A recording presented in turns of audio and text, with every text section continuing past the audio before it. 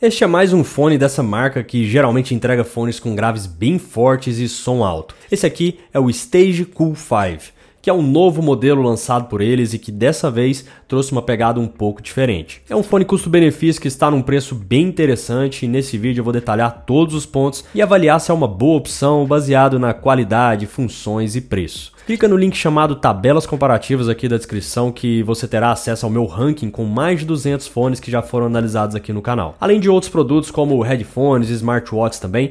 E caso você tenha interesse, os links de compra desses fones estão aqui embaixo também.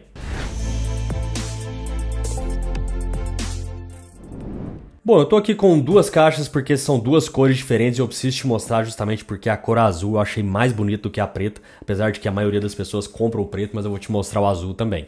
Ele já mostra aqui que tem Bluetooth 5.3, né? Os codecs dele, SBAC, AAC, MP3, MP4 e MSBC.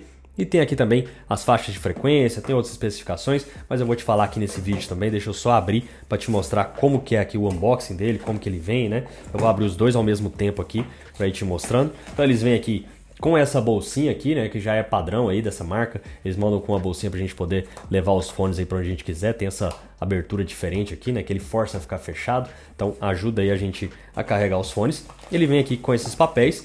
Bom, aqui nesses papéis a gente tem uma instrução aqui que é justamente para você fazer a limpeza dos polos de conexão aqui com a case. Tem pessoas que reclamam de colocar os fones eles não carregarem, então ele já mostra aqui, ele vem inclusive com essa espátulazinha aqui para fazer essa limpeza, mas eu recomendo também fazer a limpeza aqui da saída de som, tá? Tem gente que fala, ó, oh, um lado ficou mais baixo que o outro e tudo. Primeira coisa, tenta fazer a limpeza da saída de som, porque pode ser isso que esteja atrapalhando aí o seu som, tá bom? E ele vem aqui também com um cartão para você se registrar, para poder aumentar sua garantia aí para 15 meses, tá? De 12 para 15 meses. E ele tem aqui o manual todo colorido também, bem completo, com todas as informações aí que a gente precisa. E é claro que eu vou te passar aqui nesse vídeo. E esse daqui é o modelo preto e esse daqui é o modelo azul, né? Cada um vem num saquinho diferente aqui. E olha só a diferença deles, né? Eu achei o azul muito mais bonito, né? O que, que você achou? Manda aqui nos comentários, tá? E aqui a gente tem os fones ele já acende esse LEDzinho aqui mostrando como que tá a carga da case, tá? Então deixa eu pegar só o azul aqui para mostrar. Ó, quando a gente retira ele, conecta ele um tempo e tudo, quando a gente coloca aqui novamente, depois de utilizar um pouco, ele acende mostrando aí também como que tá a carga dos fones, tá? Agora ele não tá mostrando porque eu preciso utilizar um pouco e tal, mas ele aparece aqui do ladinho assim como que tá a carga dos fones também, tá bom?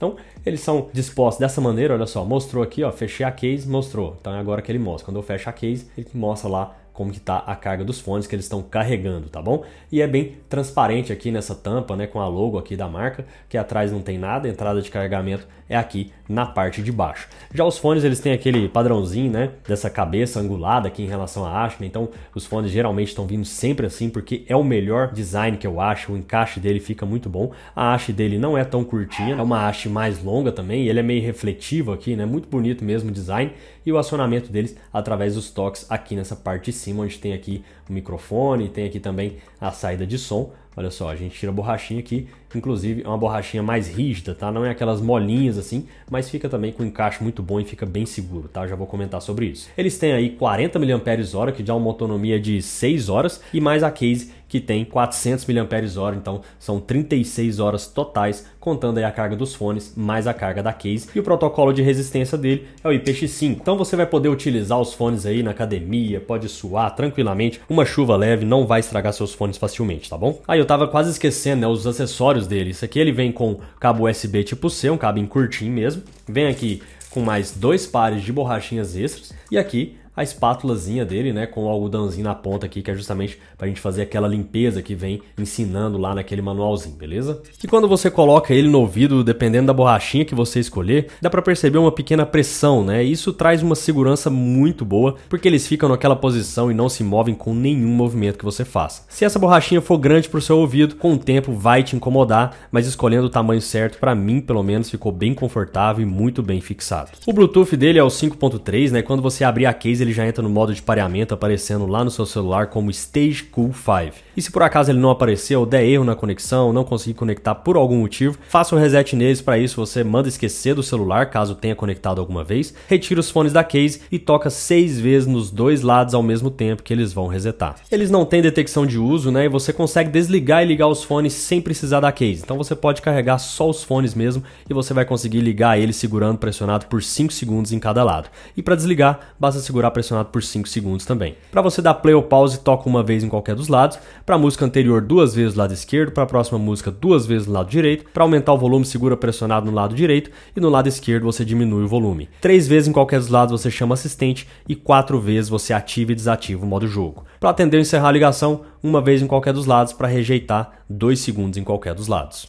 Bom, então agora testando aqui a qualidade do microfone dele, né? Primeiramente no ambiente bem silencioso, né? Então é assim que é a qualidade. Você pode ver que dá para você me entender muito bem, apesar de não ser perfeito o microfone, né? E agora eu vou colocar aqui um ruído ao redor para você avaliar também como que é essa diferença e como que é a redução de ruído dele em ligações. Então, agora está aqui com um ruído, né, bastante alto próximo de mim, como se eu tivesse um ambiente bem ruidoso, com bastante pessoas conversando ao meu redor. Para você ver que a gente consegue ainda entender tudo que eu falo, não é perfeito, mas ainda consegue entender bem tudo que eu estou falando, né?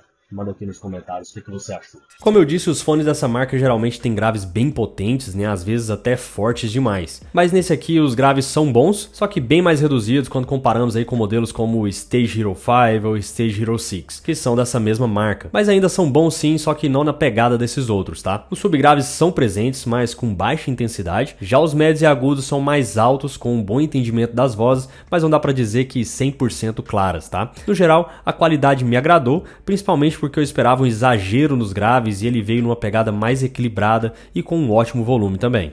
Bom, então os fones são muito bons, principalmente considerando o preço deles, né? Eu acho que quem comprar vai ficar satisfeito caso não tenha necessidade de outras funções como ANC, modo ambiente, etc. Mas nessa faixa de preço de 130 reais eu acho que já não faz mais sentido entregar fones sem cancelamento de ruído em modo ambiente, porque com no máximo 200 reais a mais você já encontra fones como SoundPits Life, Realm Buds Air 3S, que são fones bem melhores e que entregam mais qualidade, essas funções como ANC, modo ambiente também. Então, na minha opinião, são fones bons bons, mas eles perdem por serem básicos demais por esse preço, tá? Eu já vou te mostrar o nível de redução de delay deles em jogos e vídeos também, caso este seja o seu uso principal, né? Mas primeiro, não esquece de curtir esse vídeo e de se inscrever no canal, que eu tô sempre trazendo opções de todos os gostos aqui, beleza? Então um abraço e até o próximo vídeo.